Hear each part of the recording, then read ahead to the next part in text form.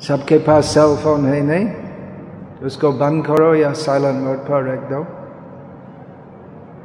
और अगर कोई इस पतित अधम का फ़ोटो खींचना चाहते हैं तो जरा सा प्रवचन के बाद खींचो। बीच में नहीं। धन्यवाद। श्री नारसिंह देव भगवान की जय। नारसिंह नाराहरि इसका मतलब क्या है नाराहरि नारा का मतलब नर मनुष्य और हरि का मतलब क्या भगवान इस प्रसंग में हरि शब्द का अर्थ है शेर हरि शब्द का अर्थ है भगवान जो हरण करते हमारे हमारे सब दुख और माया, मोह हरण करते और हरि शब्द का एक और अर्थ है शेर, नारा सिंह। तो वो रूप, आधा मानुष, आधा शेर। कैसे संभव? कैसे संभव है? क्या क्या था? क्या हुआ? क्या पिता शेर था या माता नारी या पिता नर था और माता शेर कैसे था? कैसे था? तो माता पिता तो कोई नहीं थे तो स्तंभ से प्रकट हुए। अब सब विश्वास करते नहीं? विश्वास क्यों विश्वास करते हैं? आप सब क्या साइंस नहीं पढ़ स्कूल में? ऐसा संभव है क्या? क्यों विश्वास करते हैं? हम आधुनिक विज्ञान से हम प्रमाण मिला जे जे, कि ऐसा संभव नहीं है। तो वो विचार हिरण्य का विचार है। और अब सब प्रहलाद महाराज के अनुगामी है। ऐसी बात हम विशेषकर पाश्चात्य देशों में हम जनता में प्रचार नहीं करते कि भगवान का रूप नाराहरी रूप है। एक्चुअली ऐसे कुछ लोग है जो नाराहरी का तस्वीर जो इंटरनेट पर बहुत अलग अलग लोग उसको डाले। एक्चुअली बहुत लोग उसको पसंद करते क्योंकि नारसिम रूप वो भयानक है, और ऐसे कुछ लोग है जो ऐसे भयानक रास में बहुत रुचि मिलते ऊपर रास है नहीं, भयानक रस। तो ऐसे ही कुछ लोग जैसे ही कुछ लोग तो ऐसे ही फ़िल्म देखने बहुत रुचि मिलते। जिसमें क्या वैम्पायर होते हैं और भूत आते हैं और ऐसे बहुत भयानक होता है। ऐसे कुछ लोग पाश्चात्य देशों में भी जो नारसिंह रूप, जो हिरण्य का पूरा शरीर तोड़ डालते वो बहुत खून, वो बहुत अच्छा लगता है, ऐसे ही कुछ लोग। तो इसको वो पिक्चर ये नाराहारी हिरण्यकशिपु का वध करते हैं।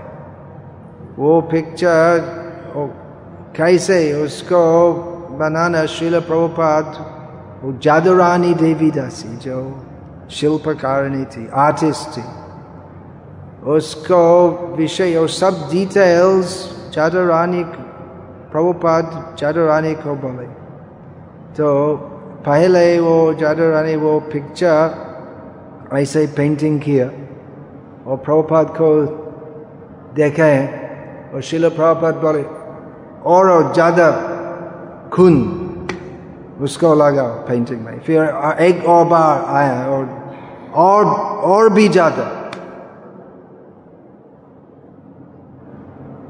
नृसिंह लीला, कृष्ण लीला माधुर लीला है। नृसिंह की लीला वो भी माधुर है, लेकिन अलग ढंग से। उसमें भी माधुर्य है। लेकिन हिरण्य कशिपु का विचार में वो माधुर नहीं था। प्रहलाद महाराज का विचार तो ये मेरा मधुर नाथ है। आया है मुझको। क्या प्रहलाद महाराज का मन में क्या विचार था कि नरसिंह भगवान मुझ को रक्षा करने के लिए आए तो वो था, वो सभी भक्तों का विश्वास है राक्षिष्य थी विश्वास हो कि भगवान मेरा रक्षक है। परंतु पहले से प्रहलाद महाराज तो हिरण्य काशीपुर से भाई नहीं मिला। जो भी हिरण्य काशीपु प्रयास किया, प्रहलाद का वध करना, परेशान देना तो प्रहलाद महाराज तो उसको कुछ दाम नहीं दिया। तो विष खिलाया उच्च पहाड़ से उसको पुश किया, फेंक दिया और एक गर्त में जिसमें बहुत सांप था, विषक्त सांप, उसमें फैला, फेंक दिया।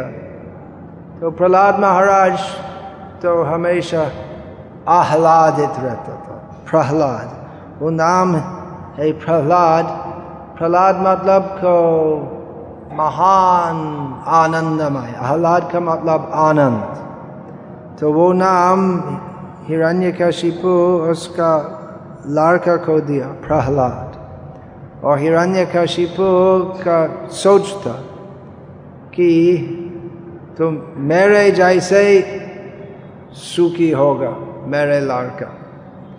तो ऐसे शराब पीने से व्यभिचार करने से दूसरों को कष्ट देने से गो हत्या करने से तो मेरे जैसे बड़ा असुर होगा और ऐसे आनंदित होगा लेकिन प्रहलाद जब गर्भ में था उनकी माता का गर्भ में थे तो नारद महाराज की शिक्षा से अलग प्रकार का आनंद प्राप्ति मिले और प्रहलाद का आनंद कृष्ण कृष्ण था तो इसलिए वो वो सही है कि प्रहलाद प्रहलाद थे मतलब विशेष सुखी थे। परंतु वो सुख, जिस प्रकार सुखी थे प्रहलाद, उससे हिरण्य का शिपु का बड़ा दुख हुआ। हिरण्य का शिपु तो बहुत बहुत कृच कष्ट लेके, कृच साधन करके। तो इतना सा सत्ता मिला कि पूरा जगत निवासियों को उत्पीड़न कर सकता और वो हिरण्य कशिपु का था और ऐसे ही सोचा कि अभी मैं स्वतंत्र हूँ कोई मुझको किसी नहीं कर सकते मैं जो भी करना चाहता हूँ करता हूँ मैं ईश्वर हूँ ईश्वर ईश्वरो हम अहम भोगी, सिद्ध हो हम बलवान, सुखी। ये आसुरिक स्वभाव का प्रतीक हिरण्य का शिपु था। वास्तव में तो सुखी नहीं था, क्योंकि भौतिक सुख तो कोई सुख नहीं है। हिरण्य का शिपु तो इतना बलवान होते हुए भी, इतना ऐश्वर्य प्राप्त कर चुके भी तो फिर भी चिंता में परिमयम च प्रलयांत उपाश्रया तो हमेशा बहुत चिंतित रहता था। लेकिन प्रहलाद तो सच सुखी था, और उसको देखने से हिरण्यकशिपु का दुख बढ़ गया कि ये प्रहलाद मेरे आदेश पालन नहीं करते। विष्णु की भक्ति करते हैं। वो मेरा शत्रु है। मेरे अपना पुत्र फिर भी मेरा शत्रु है। तो प्रहलाद का आलाद जो कृष्ण नारसिंह है। कि प्रहलाद सुखी थे कृष्ण भक्ति में तो उसी बात से हिरण्य कशिपु का बड़ा दुख था। तो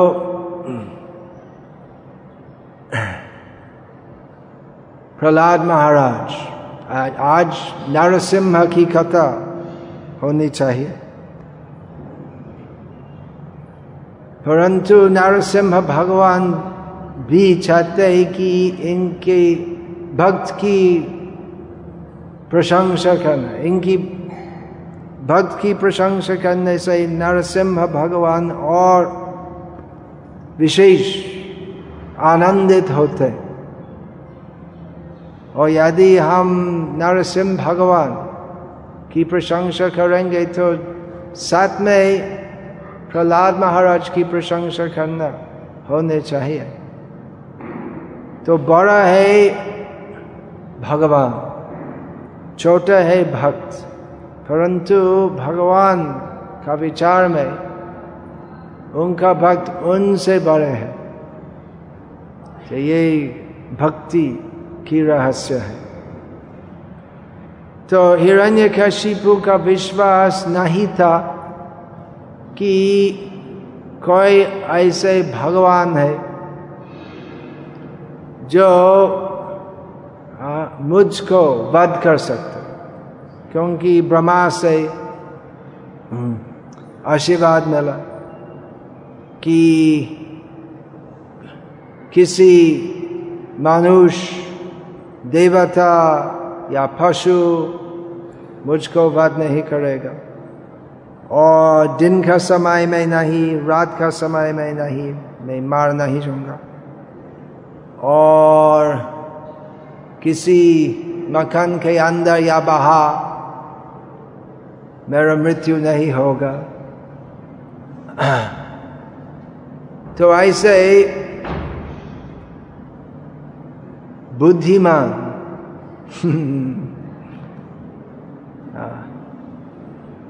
ऐसे आपने को विचार किया कि मैं मैं बहुत बुद्धिमान हूँ। अति बुद्धिमान कशिपु इतने सा आशीर्वाद ब्रह्मा से प्राप्त किया, जिससे कोई उसको बात नहीं कर सकेंगे।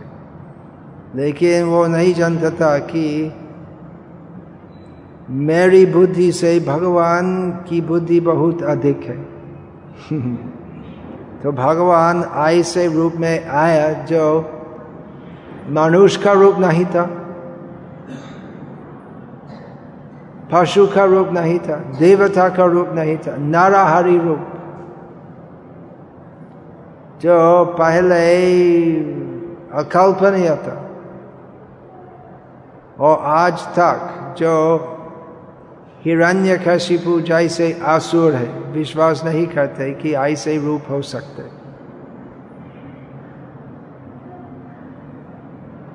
तो हम विश्वास करते यदि भौतिक, वैज्ञानिक नियम से संभव नहीं है तो कैसे हम विश्वास करते हैं कि ऐसे रूप हो सकते हैं? वो सब वैज्ञानिक नियम कौन बनाए भगवान। भगवान सब, भगवान का मतलब वे स्वतंत्र है, पूर्ण शक्तिमान है। सब कुछ जो वे करना चाहते कर सकते। और हमारा कोई अधिकार नहीं, ऐसा कहने की, भगवान ऐसे नहीं कर सकते। तो यदि किसी काम है जो किसी व्यक्ति नहीं कर सकते तो वो व्यक्ति भगवान नहीं है। भगवान हमारे नियम से नियंत्रित नहीं है। भगवान स्वतंत्र है। ये स्वतंत्रता शब्द की परिभाषा है कि जो करना चाहते कर सकते और किसी व्यक्ति भगवान को ना, नहीं कर नहीं बोल सकते। तुम ऐसे ही नहीं कर सकते। तो भगवान हमारी कल्पना के अतीत है। जो भगवान विश्वासी है। ये सब बात आसानी से, सरलता से ग्रहण करते हैं। और जो अविश्वासी है, बहुत तर्क करते हैं। तो उनका तर्क करने से उनका कुछ फ़ायदा नहीं होता। वो कहानी है नहीं कि एक बार वो नारद मुनि वैकुंठ के पथ पर था और एक मूची नारद को देखा। वो नारद नारद, कहा जा रहा हो? वैकुंठ जातो भगवान वैकुंठनाथ का दर्शन करने के लिए। और दूसरा पंडित ब्राह्मण नारद से पूछा, कहा जा रहे हैं? वैकुंठ जाता वैकुंठनाथ का दर्शन करने के लिए। तो वो पंडित नारद को बताया कि वो भगवान नारायण को कहो कि मैं कुछ दिन के बाद मैं जाऊँगा तो मेरे लिए उचित स्वागत करने का बंदोबस्त करना और नारायण को कहो कि मैं ब्राह्मण हूँ शुद्ध हूँ तो मैं वैकुंठ जाऊँगा और शायद मैं भी वैकुंठ मैं वैकुंठनाथ होऊँगा। ऐसे ऐसे मायावादी लोग सोचते कि आ, मैं मुक्त हूँ और मैं भगवान के समान हूँ। या भगवान मेरे से छोटा है। तो नारायण भगवान के पास जाकर नारद मुनि बहुत स्तुति स्तव ऐसे किया। और भगवान वैकुंठनाथ नारद को बोले कि आ, वो दोनों वो पंडित ब्राह्मण और मुची दोनों को कहो कि मैं वैकुंठ में आ, एक क्या बोलते हैं वो सूची सूची क्या बोलते सूची सूची का नीडल सुई सुई हिंदी में तो उसमें कुछ सूता नहीं डाला, एक हाथी डाल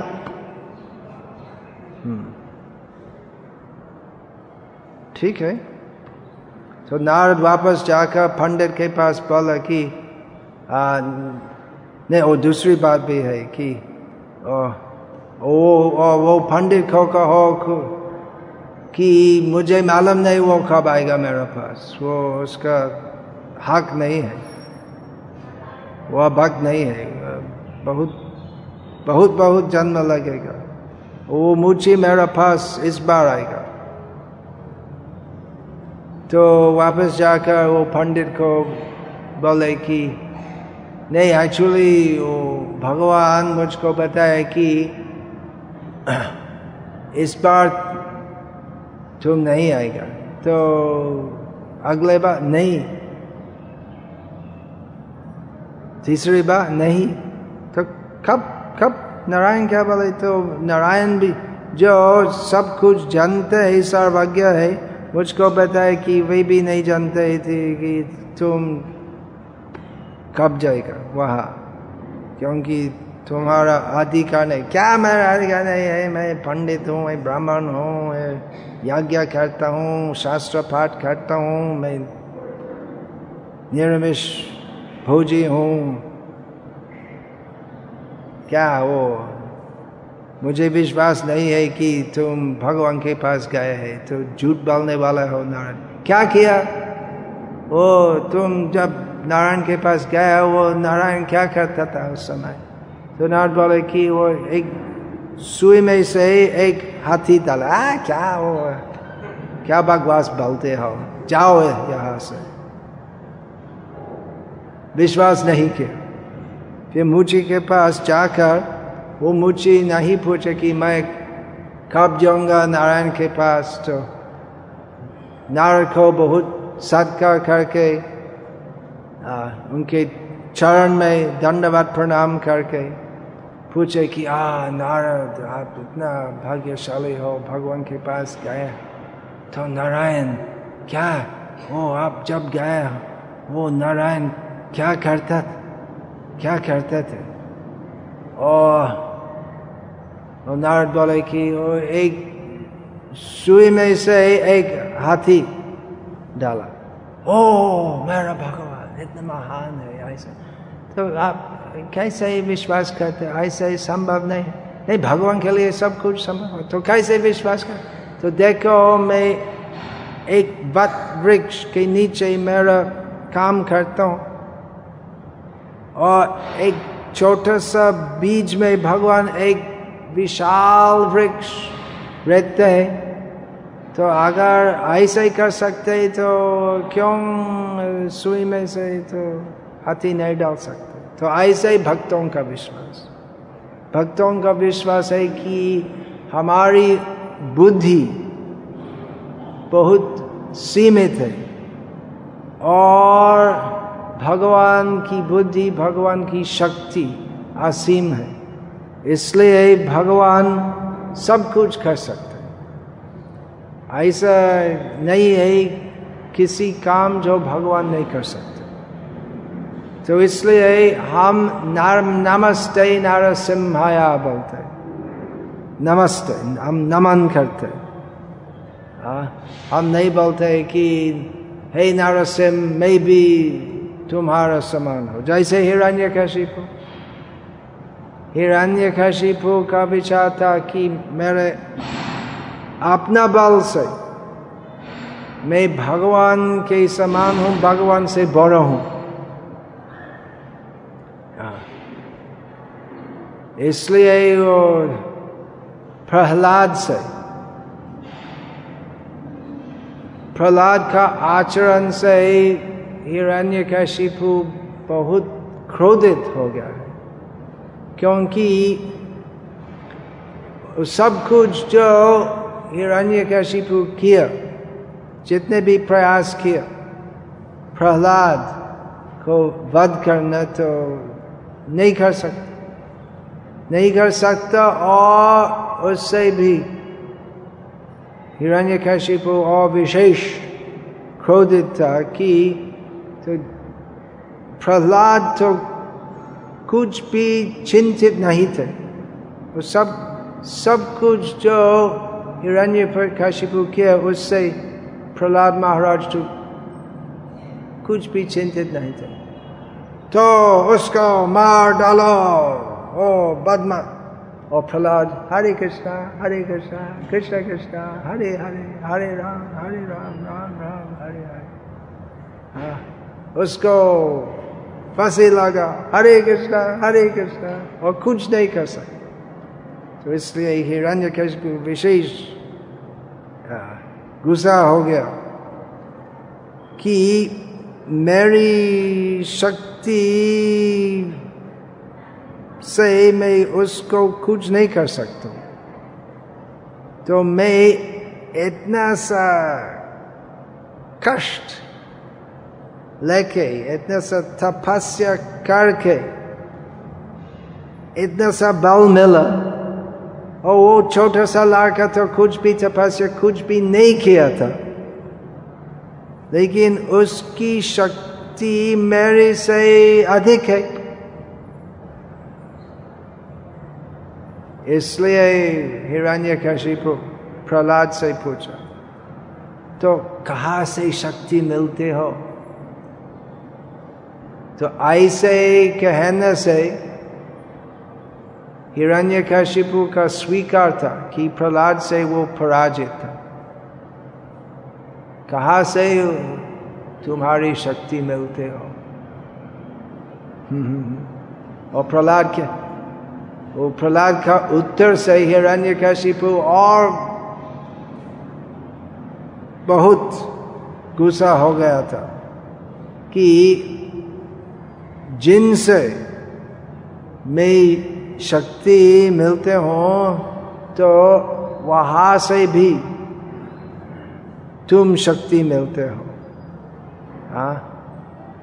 हमारी आ, शक्ति का स्रोत और तुम्हारी शक्ति का स्रोत एक ही है। सब शक्ति का स्रोत सर्वशक्तिमान भगवान विष्णु है हिरण्य ओ विष्णु नाम मत कहो। नहीं जानता कि पुत्र का धर्म है। पिताजी को परेशान नहीं देना। विष्णु नाम कहने से, ओ! इतना खराब लगता। है तो प्रहलाद बहुत प्रयास किया, वो हिरण्य कशिपु को समझाना। लेकिन हिरण्य कशिपु तो सख्त, आसुर था। इसलिए तो सदुपदेश सुनने के लिए तैयार नहीं था। भक्तों, प्रहलाद महाराज जैसे, नमस्ते नरसिम्हया नरसिंह को नमन करते यदि हम नरसिंह को नमस्ते नहीं कहते नमन नहीं करते। तो हम छोटे छोटे हिरण्य कैशिपु जैसे इस भौतिक संसार में रहेंगे। पुनरअपि जननम पुनरअपि मरणम पुनरअपि जननी, जठरे शयनम। ये हमारा हल होगा। बार बार जन्म लेना बार बार मृत्यु प्राप्त होना। ऐसे हल होते हैं। उसका कारण क्या है? कि हम बार बार जन्म जन्मांतर दुख मिलते, हम जन्म मृत्यु चक्र से मुक्त नहीं होते, क्योंकि हम प्रहलाद जैसे नरसिंह में पूरा विश्वास नहीं करते। नृसिंह हम आदिम शरण प्रपदे, हम पूरा शरण नहीं लेते। भगवान नरसिंह के चरण में। तो क्या करना है? इस घर संसार से मुक्त होने के लिए क्या करना है? तो सामान्यतः मुनि, ऋषियों, बहुत दीर्घ काल में बहुत कठिन तपस्या करते हैं मुक्त होने के लिए। और हिरण्य को दीर्घ काल में कठोर तपस्या किया है। मुक्ति प्राप्त करने के लिए नहीं है। भुक्ति, विशाल भौतिक तथा कथित सुख प्राप्त करने के लिए। तो जो ऐसे तपस्या करते हैं, मुक्त होने के लिए, उनका स्वभाव हिरण्यकशिपु का स्वभाव जैसे है। क्योंकि उनका विश्वास नहीं है कि एक कृष्ण नाम करे सर्व पाप क्षय। तो खाली एक बार कृष्ण नाम उच्चारण करने से वो सब पाप जो भवबंधन का कारण है तो पूरा क्षय होता उनका विश्वास नहीं है कृष्ण भगवान में। आ, उनका विश्वास है कि मैं अपना बल से मैं माया से मुक्त होऊँगा। और मुक्त होऊँगा। मुक्ति के बाद मैं नारायण के समान होऊँगा। तो ऐसे सोचना असुरिक है। इसलिए ये नैरविंदाक्ष विमुक्त मानिनस्त्रयस्त भावाद विशुद्ध बुद्ध आरोह्य कृच्छ्रेण परंग भदंग तथा पतंत्य युष्मदंग तो ऐसे ही मुनि ऋषि गण जो कृच तपस्या करते हैं मुक्त होने के लिए और आत्मा को विमुक्त हूँ मानते हैं ऐसे लोग तो आधा मुक्त होते। परंतु वो मुक्त जैसे अवस्था से फिर पतित होते, इस भौतिक संसार में आते। क्यों? उनका दोष है कि वे पुंडरीकाक्ष भगवान विष्णु का आदर नहीं करते। तो इस नृसिंह चतुर्दशी महोत्सव सब वैष्णवों के लिए बहुत महत्वपूर्ण है। इस महोत्सव पालन करने से हम घोषणा करते हैं कि सब कुछ जो भौतिकतावादियों कहते हैं कि विश्व की उत्पत्ति किसी कारण से नहीं थी तो ऐसे ही बड़ा विस्फर था और उसके पहले कुछ नहीं था। कोई भगवान नहीं है, मृत्यु के बाद कुछ नहीं होते हैं। यही सब नास्तिक्यवाद, हम पूरा अग्रहण करते या हम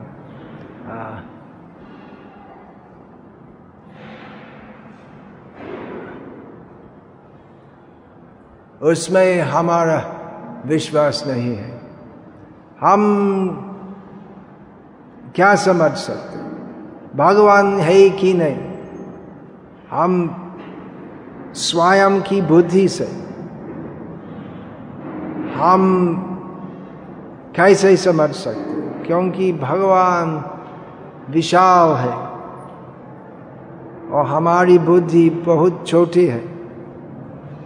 तो कैसे हम समझ सकते भगवान है कि नहीं? तो जो भक्त है, वे विश्वास करते और जो अभक्त है, वे विश्वास अविश्वास करते वे सब बोलते हैं कि आधुनिक विज्ञान से हम प्रमाण लाया तो कैसे महान विश्व था और ऐसे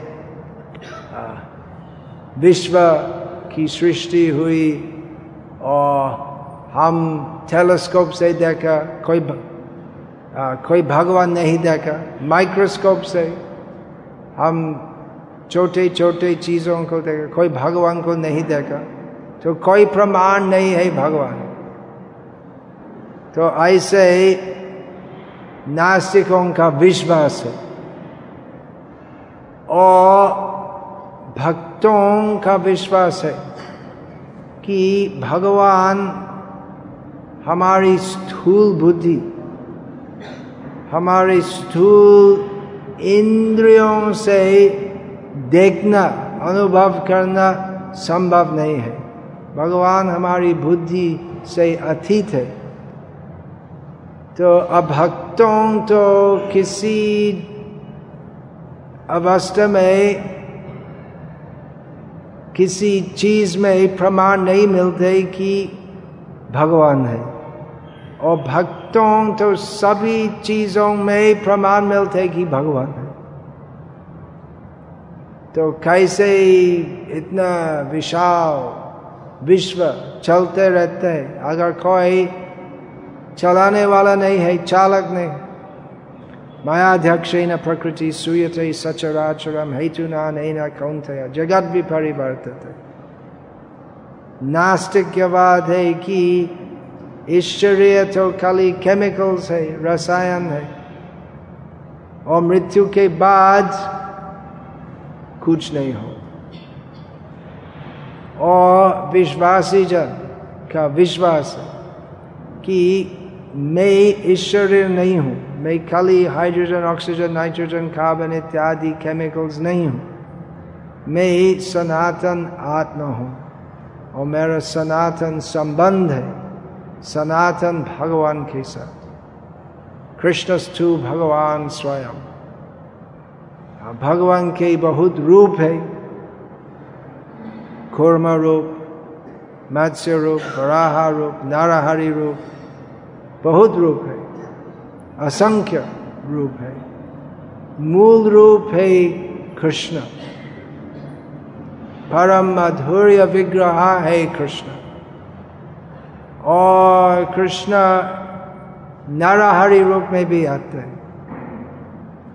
भक्तों का विश्वास है, और विश्वास से भक्ति करते और भक्ति से भक्तों, भगवान का अनुभव मिलता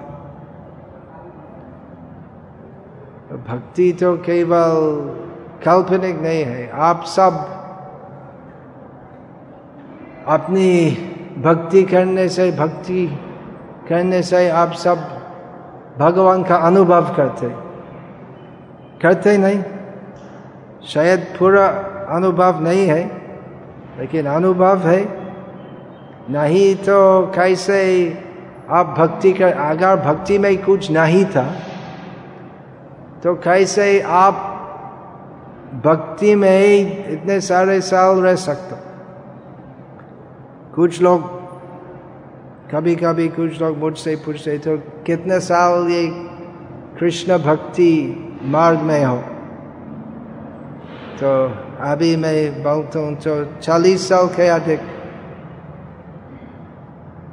फिर मुझसे पूछते तो उससे कुछ महसूस करते कुछ अनुभव होते?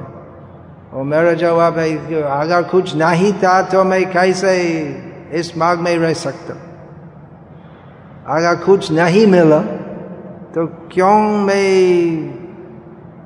इस मार्ग में रहता? क्योंकि इसमें कुछ तपस्या है। एक्चुअली तपस्या नहीं है, लेकिन आधुनिक आधुनिक युग के लोग का विचार में तो सुबह सुबह उठना, मांस, मछली, अंडा नहीं खाना, चाय नहीं पीना, ओ ओ, कितना बड़ा तपस्या है। टीवी नहीं देखना।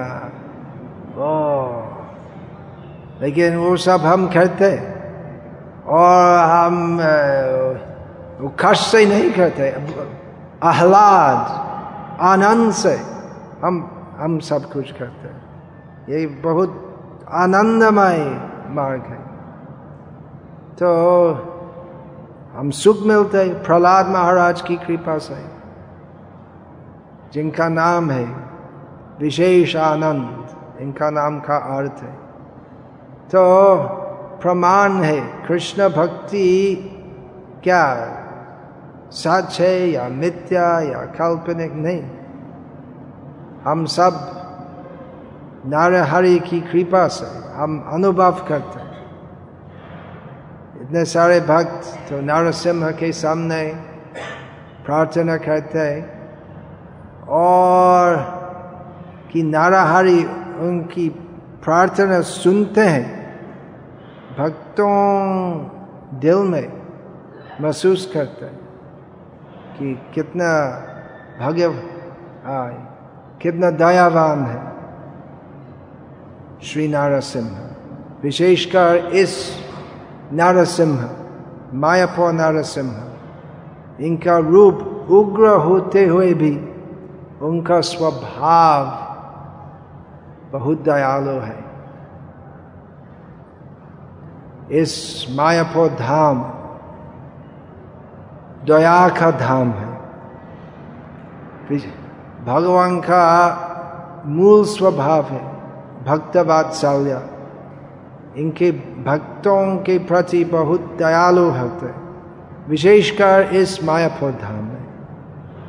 तो इस मायापुर धाम में इस नरसिंह नरसिंह भी है नृसिंहपाली नवदीप धाम में नृसिंहपाली में नरसिंह भगवान है और जोगपीठ में भी लक्ष्मी नरसिंह है और इस्कॉन का नृसिंह वो आसपास मायापुर बामन फुकर हुलागढ़ स्वरूपगंज उस आसपास के लोग बोलते हैं इस्कॉन इस्कॉन है नरसिंह। तो इस नरसिंह बहुत बहुत दयालु है। और विशेषकर इस दिवस पर आप नरसिंह के चरण में प्रार्थना कर सकेंगे। और विशेष तो प्रतिदिन नरसिंह भगवान इन, इनके भक्तों की प्रार्थना सुनते हैं। भक्तों की आध्यात्मिक कामनाएँ पूरी करने के लिए प्रस्तुत है, परंतु विशेषकर आज वे भक्तों की प्रार्थना सुनेंगे। तो भक्तों का प्रार्थना क्या होने चाहिए? ओम नमो भगवते नरसिंहाय, नमस्ते तेजस आविर आविर्भाव। वज्रनाक वज्र जंश कर्माशय रंध रंध मोग्रस ओम स्वाहा अभयम अभयम आत्मनिभूयष्ट अंश इस प्रकार प्रहलाद महाराज नरसिंह के चरण पर प्रार्थना करते कि हे भगवान नरसिंह आपका रूप उग्र है भयानक है वज्र नख नखों और दांतों तो वज्र जैसे है जिसमें से आप, असुर हिरण्य कशिपु वध किया तो ऐसे मेरे हृदय पर बहुत आसुरिक इच्छाएँ हैं। तो जैसे वो आसुर हिरण्य कशिपु को वध किया तो उस प्रकार भी आप वो सब भौतिक कामनाएँ जो हमारे भव बंधन का कारण है। वो सब कुछ नष्ट कर दो। इस प्रकार भक्तों भगवान नरसिम्ह देव के चरण पर प्रार्थना करते हरे कृष्ण, श्री नरसिंह भगवान की जय। प्रहलाद महाराज की जय। श्रील प्रभुपाद की जय। हरे कृष्ण।